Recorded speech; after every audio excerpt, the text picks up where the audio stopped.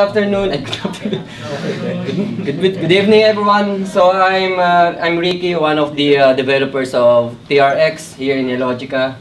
And aside from aside from programming, I'm also doing some uh, triathlon. So yung mga gusto mag-triathlon dyan, gusto mag-bagout gusto mahirapan sa buhay. So I can teach you how to do triathlon. But anyways, my topic for tonight is about fearless refactoring Rails controllers. Now, I'm sharing this book in concept, hindi yung mismong book, by, uh, I don't know how to pronounce that, but uh, uh, he's the author of the fearless refactoring Rails controller. So, uh, few months ago, actually last month, I created a Rails 5 experiment with with Ember.js. And um, so this Rails, Rails 5 is uh, part of the feature of Rails 5 is um, creating a new project as pure API. So no, uh, no uh, views, etc. So so this is the uh, the working project of of uh, Rails 5 for the API with client. So the client part is uh, using Ember.js. so most of us, so we're, when we're dealing with API, we always uh, do this something like something like retaining a JSON with success true, and then the data JSON that we would like to parse uh, on the front end. Uh, and of course, this uh, the response stats for this is always 200. And regardless if the uh, data that we're looking for is present or not, we still uh, return the, the, the, status of this JSON da data as 200. But in fact, it should be returned as 400. So what are other other status returns supposedly of our API? So these are the most commonly used status in returning controllers uh, of API controllers. So uh, first one is 200, so which is uh, success. Second one is 201. If you're doing a new cre uh, create new record, and then the response of your status should be 201. And then if you deleted a record via API, your response status is 204. And then if it's not found, then you always return as 400. And if it requires an authentication, then you should re uh, return the, the status of your JSON data as 401. But not always as success true. And then if it's not found, then you return it success false. And then you and then you return an empty data. But in fact, you have to force returning the controller with with status. Now, my topic for tonight is how to create a testable controller. Most of us, when we, when we test a controller, we, we test the details ng controller. That includes, we, we try to parse yung, yung mismong data. But in fact, if we're testing the controller, our concern only, the controller's concern is these statuses. Okay? And then therefore you will be asking me, eh how about yung ano, yung yung dealing with the models, etc. Then it's a different ano, it's a different test. It, could be a model test or a unit test. But if we're dealing with the controllers, controllers supposedly uh, we've been discussing with my uh, uh, my partner in crime in TRX. Now we, we we don't have to be uh, we have we don't have to be concerned about with regards with the uh, inside the, the control method method block. So we don't have to be detailed like what's the next step. Then we'll use RSpec and then we, we, we are so detailed with our test that every line are tested. But supposedly, when we're testing controller, the only thing that we have to know is if it's successful, if it's created, if it's destroyed, if it's not found, or if it's unauthorized. Alright? Then it then therefore comes here yung unit testing per se. So if you're using library for that, then you have a test for, for your unit test. And then if you have uh, model test in, in terms of what's the actual uh, return of this 200 for your 200 and then you do it in a different perspective. Now, let's take a first example of uh, and, also um, I utilized the mini test of Rails 5. So I didn't use RSpec here kasi uh, as much as possible my goal is ano, minimize use of gem eh. So most most of us Rails experience so familiar with too many gems available in the internet, but we have forgotten to utilize what's the maximum potential of Rails Rails itself, di? So even though there is available Minitest, most most uh, Rails programmer uh, programmers, uh, they chose to use RSpec over Minitest. But they didn't see the power of simple test using Minitest itself. Now,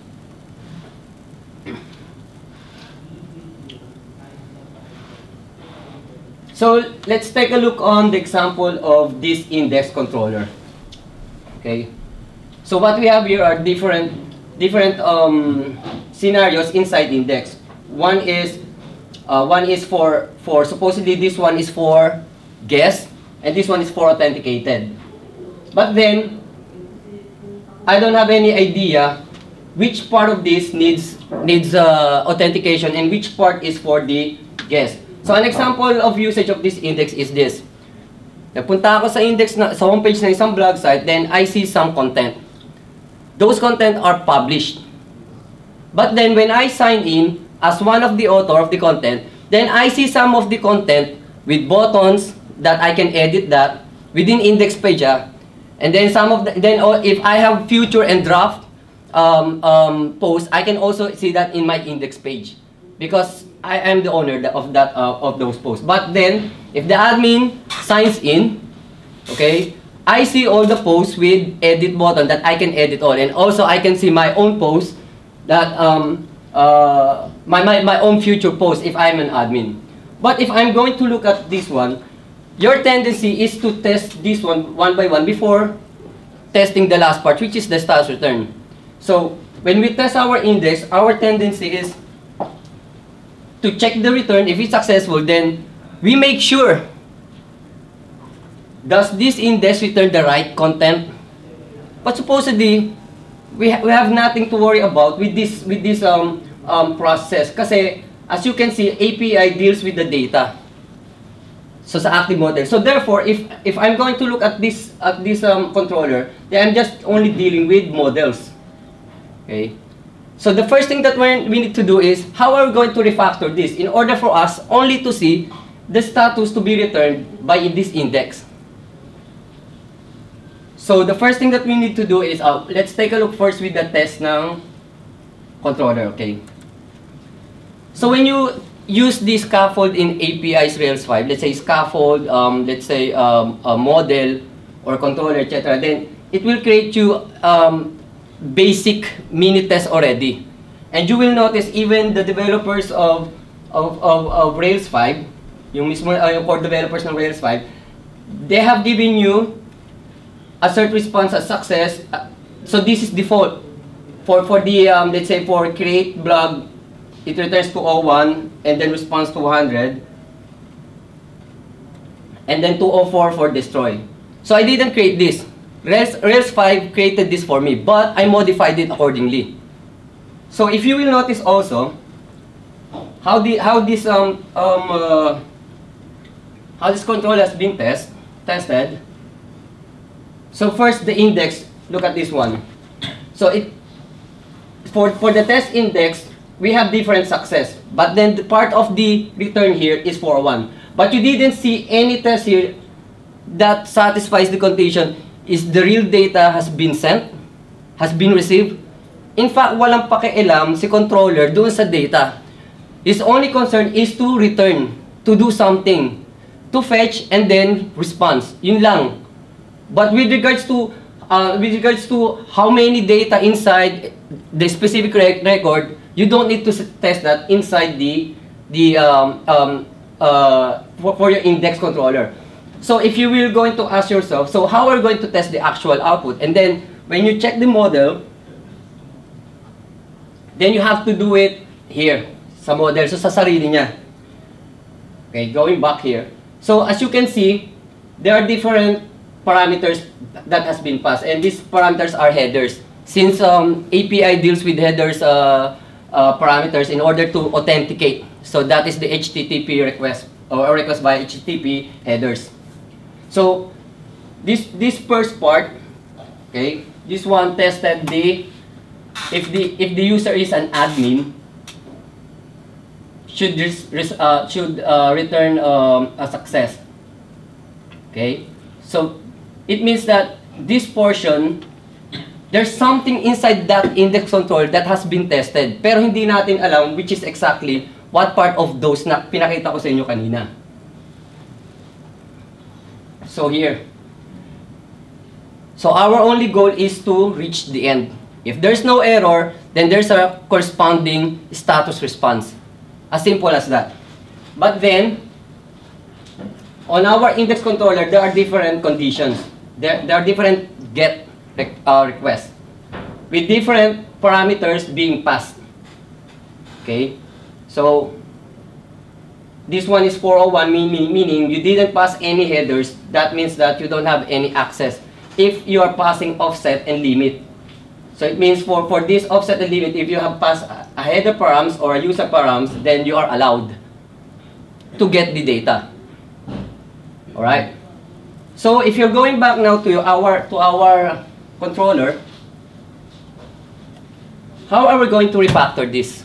In order for this controller to be readable after refactoring it. So if someone check your code and then and then read your code, oh, no documentation here. I don't know what will happen here. So ang gagawin natin, test, test, uh, tawag dito, um, uh, iteration process. Ah, ganun pala ang gagawin niya, especially if, if there's a new hired, uh, newly hired uh, programmer.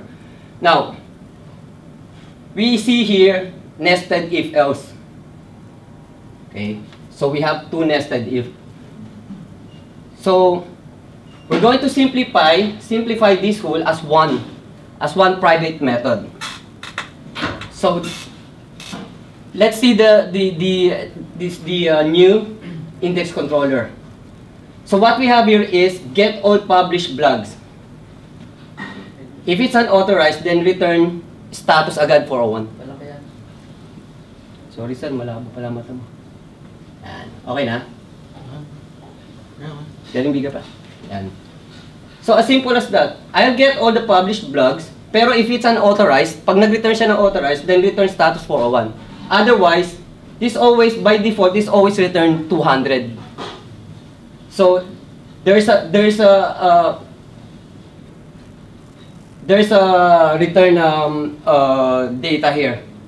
Now, where's did get published blogs? So as you can see, it calls for a get all published blogs. Pero you can see the if else here. Kung tutusin, that represents the if else here. Itong block na to. Right? So this whole block is represented by one private method and then sabi niya, get all published blogs. Get all published blogs. Okay? and then, another refactoring done here, these two blocks is represented by two different private methods again. So, so the first one is get all published blogs for authorized user. And then the other one is get all published blogs for guest user. So with the, so from here, we already represented this block of code into more descriptive method. So we have here descriptive method. So if you're going here, get all published blogs,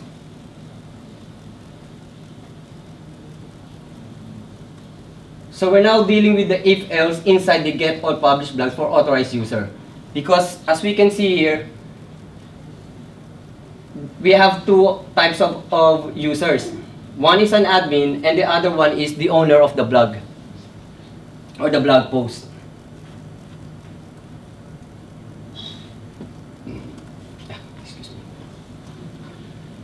So, at current user, chinecheck niya if it's authorized or not. Otherwise, return unauthorized. So that's the first test being done here inside the controller. So if we going back here, return niya is, is get all published log unauthorized, then return 401. Otherwise, proceeding. So get all published blog. So if this valid, and then let's proceed on getting all published blog for admin user. so this is the block for get all published for admin user. But then, there are two types of admin. One is super admin, and the other one is admin of your own blog or own blogs.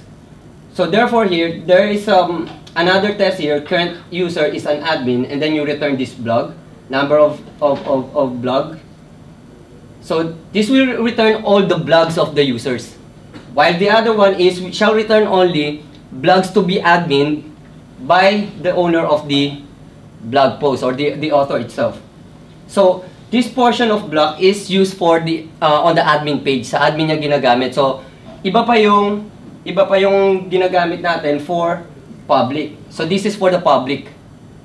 So, this one is this get all published blogs is for the admin page. So, what if it's not an uh, authorized user? So, let's check for the guest user. So, tingnan natin naman sa get user.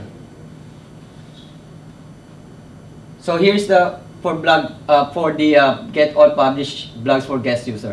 Now, as you notice, bakit kailangan dalawa pa? Because I use a gem file here, uh, uh, a gem file, sorry, a gem uh, called Caminari for pagination. So, um, uh, the first part is if parameters is is params page is present, then I have to use this to render the or to get the the, the needed data. And then if na, parameters page is not present, meaning the first the first few or the first uh, set of uh, of of uh, posts ang i-return natin. So as simple as that. So from this from sorry. So from this controller, index controller, then we arrive to this controller.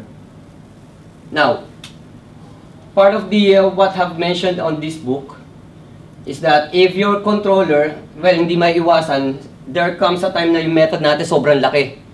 Ang dami niyang process. And according to the author, he suggested na you create another another controller for that. So you simply call it, let's say, get all blogs controller. But then it's the same ano, the same uh, index pa rin, so the same uh, method pa rin ng call. But you're going to specify which controller ang gagamitin mo. This is to isolate, especially if you have plenty of, of uh, uh, private uh, methods that you have used, just to simplify or refactor your controller. And so that's the, uh, and lastly, uh,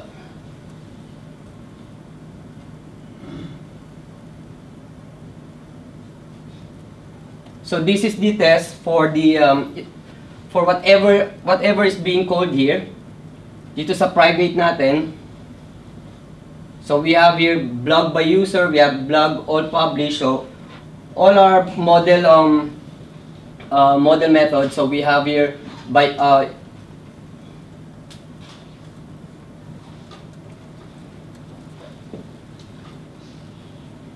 So published by user. So you test it and test the result. So most most um, programmers, when they have returned the output for uh, okay for index, they also check the actual JSON data. They try to match it with with i- is the actual data that I'm expecting is returned. Then they parse the data or the JSON data here.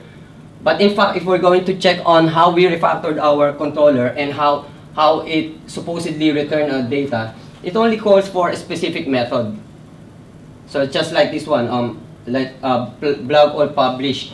So you just simply you don't need to test this within your controller, but rather you just simply test this within your model instead. So your only concern now, as going back to my uh, our goal of for our goals, is just simply return the right status of your controller. As simple as that. And then I recommend I recommend this book if you have credit card. I'm not saying this book ah, kasi ano to eh, um, uh, we didn't get this for free. So one of our uh, uh, uh, developers they purchased this book and uh, it was shared uh, to us and I'm read uh, we're reading this book uh, and and it's worth reading no so you can you can you can uh, check this uh, in the in the internet any question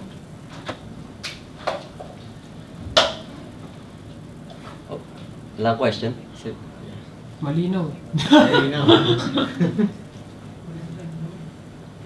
So if you want to get the actual file and if you want to study the the, the race file API, just, so just simply go to my GitHub, Ricky Hurtado, and then put the API. Yeah. So that so you can see the complete the complete um the, the complete uh uh setup of all the controllers that has been refactored already, and that includes the test for models and and and everything in it. So, nag-integration tests ka pa rin or?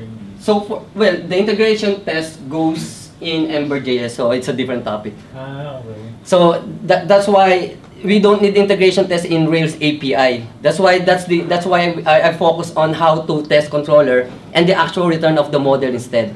And then testing the pagination etc. Si wala na siyang pakialam doon kasi we don't need to test the Kaminari ano eh uh, pagination eh. It's it's already been ano, working na kung working na then we don't have to worry about it. And then that part whatever it is pagination o kung ano man then um, the integration test here um, I created a branch here Ember test. So portion of the just if you're just interested with the Ember uh, JS. uh, and by the way, one of the authors of Em- Ember JS is uh, uh, a former uh, core contributor of Rails 4. I forgot the name. Sino? Si ano yun? Oh, basta yun. Siya yun. Sila ito. So that's why when I move, so that's why when I move from Rails 5 to Ember, the approach for the views is almost similar. So it's almost similar. It's, it's just so happen a different ano, structure, but the approach of creating views with partials, um, uh, partials sa Rails 5, but components on on Ember.js. Anyways, so that that's where you put the integration test. Any questions? Pero Right. ano yung pangalan ng ano? Ah, Ricky, Ricky Hurtado, pre.